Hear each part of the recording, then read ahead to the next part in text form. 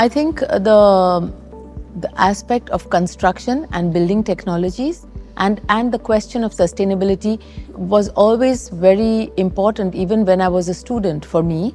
And that is because I, I realized that the key for uh, all the problems lies in the post-industrial construction habits that the Western world, the developed countries, because they are mainstream industrialized, they have created a building culture where it is completely outsourced from the common man, let's say.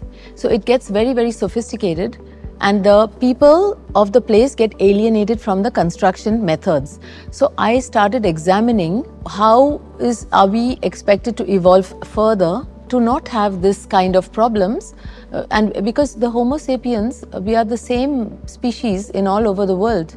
And every other species like a whale or a tiger we you know every species has some requirement to thrive uh, and to survive and so also human um, beings. But for some reason human beings in one part of the planet consume uh, way more than other people and this kind of consumption pattern is being imposed on the rest of the world, not by force, but by the kind of economic policies, etc., there is a, a, trend of another kind of colonization where the rest of the world is creating problems of sustainability. Actually, most of the countries who are not industrialized, they are consuming very little compared to the so-called progressive technologies. So I wanted to enter my profession through a strong engineering knowledge to be able to really examine and question all assumption and all codes and norms and building habits.